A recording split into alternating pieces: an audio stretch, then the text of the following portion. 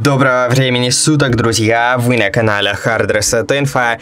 Перед нами TCL 25G, и в этом видеоролике мы вам покажем, как включить стабилизацию во время съемки видео на этом телефоне.